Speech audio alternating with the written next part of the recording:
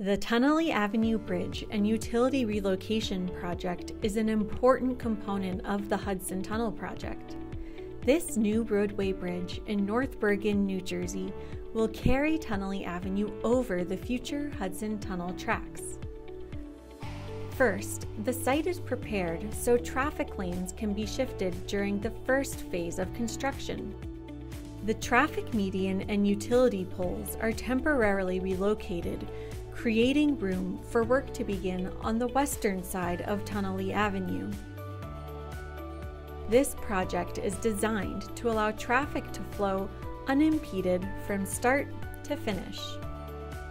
Next, the first of three sections of the roadway bridge will be built.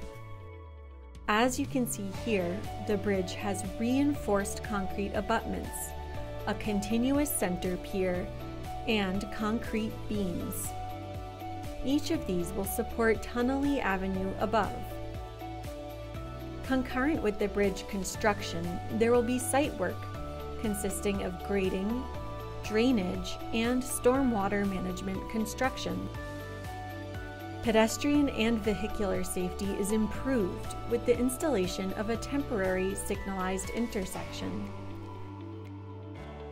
Then, traffic is shifted a second time to allow for the next section of the bridge to be built. Concrete support structures are constructed, this time extending the new roadway bridge eastward.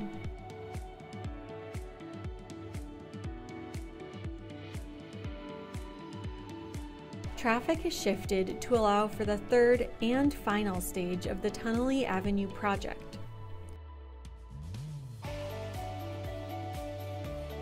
Water and gas utilities are permanently relocated on a steel support structure.